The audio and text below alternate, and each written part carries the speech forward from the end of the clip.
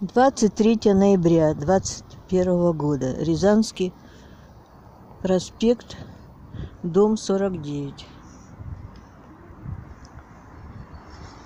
Ну, Вот дымит коллектор. Это что получается? Что у нас на Рязанском проспекте горячая вода куда-то выливается, что ли, я не знаю. Почему коллекторы э, постоянно, все коллекторы, вот пройдешься, все коллекторы дымят.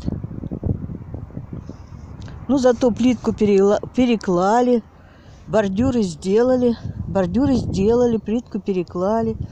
Детскую площадку раз на пятый уже переделывают. А вот это вот эта ерунда с отоплением, с это, все по-прежнему продолжается.